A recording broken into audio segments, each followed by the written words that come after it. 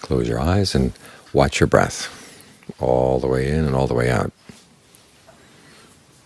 As for what other people are doing, that's their business. You've got to take care of your business inside. Because as the Buddha said, this is where suffering comes from, comes from inside, and the solution lies inside. Our desire to know things outside pulls us away from our real business, which is to take care of the fact that we've got a lot of greed, aversion, and delusion running around inside here. We've got to take care of it, otherwise they're like it's like keeping tigers in your house. If the cage is strong, okay, they stay inside, but sometimes the, the bars of the cage seem to be weak, and the tigers go out and they not only make a mess of your house, but they go outside and make a mess of the neighbors. So take care of business inside.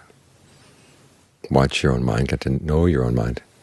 And when it's about to go for greed or aversion or delusion, try to catch it in time.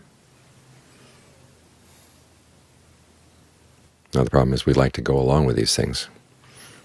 We like running after them. So we have to give it the mind something better. That's why we meditate and get the mind still. Get the mind still so it has a place to realize, okay, the stillness of the mind is where real happiness lies.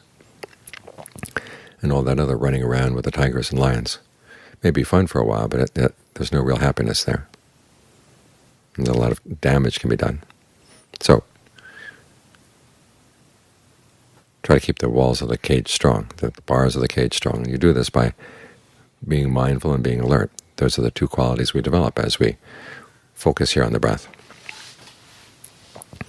If you're not alert, okay, the mind will wander off. If you're not mindful, you forget why you're here. So keep coming back to the breath. Remind yourself this is where you have to stay, right here, right here, and be alert to what the mind is doing so it doesn't play tricks on itself.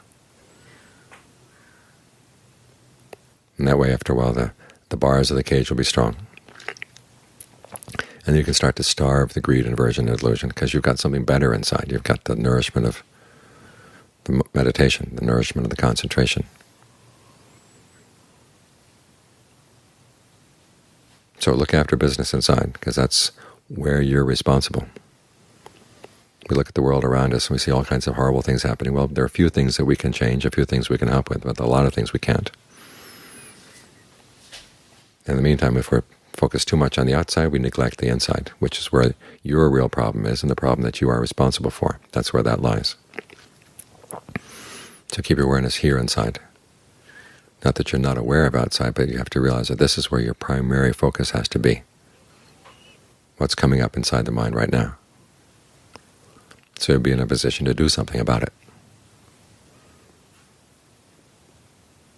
That's what's called being responsible.